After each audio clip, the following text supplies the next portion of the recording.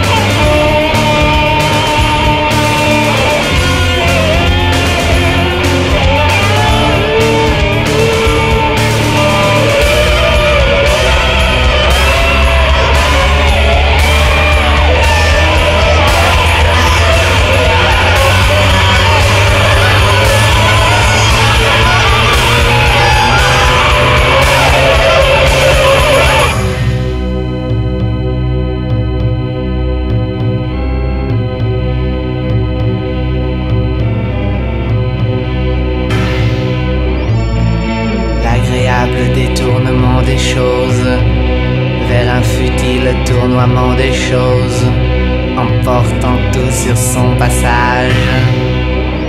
Le va-et-vient sans cesse tourne doucement les têtes, arborant les courbes sentimentales.